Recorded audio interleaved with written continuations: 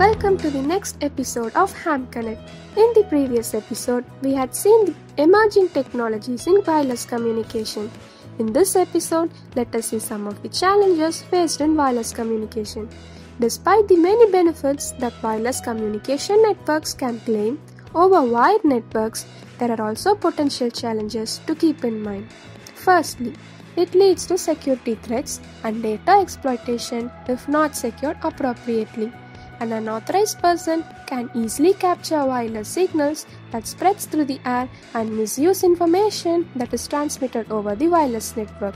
Any wireless network that is not secure is vulnerable to attacks such as IP address, MAC address spoofing, denial of service attack, eavesdropping, and so on. The next challenge is with regards to installation process. That is, we may experience interference if others in the same building also use wireless technology or where other sources of electromagnetic interference exist. This could lead to poor communication or in extreme cases complete loss of wireless communication. In some situations, there may be lack of network coverage or getting consistent coverage can be difficult, which leads to black spots where the signal is not available. For example, in structures built using steel reinforcing materials, we may find it difficult to pick up the radio frequencies used. Wireless transmission can be slower and less efficient than wired networks. In larger wireless networks, the backbone network is usually wired or fiber rather than wireless. So, we saw some of the challenges of wireless network. Now, let's see few methods as how to secure our network. First, implement a set of policies on wireless network and identify the ownership of these policies. Review these policies regularly to ensure security control when new risks are identified. Second, administrators can use discovery tools to detect rogue access points and unauthorized peer to peer connections. Secure your wireless router or access point administration interface with strong passwords.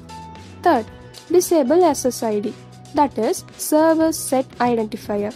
Turning off SSID makes your network invisible to your neighbors and passers-by.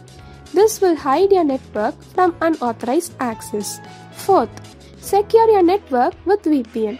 VPN provides a secure wireless network environment to an employee to connect into the corporate private network. In this network, data is encrypted and protected from unauthorized access, attacks such as eavesdropping and man in the middle attacks. Fifth, use personal firewalls. Wireless adapters create new avenues of attack. So, install your personal firewalls. It is a good practice to supply security and application patches to fix certain security vulnerabilities. Periodic network reviews is the next one. It is a good practice to review your corporate wireless network regularly for any vulnerability. This will help you identify and resolve vulnerabilities before attackers exploit your wireless network. Hope this podcast got you an idea about the challenges faced in wireless network and how to secure these networks. Let's meet in the next episode of the series. Until then, stay tuned.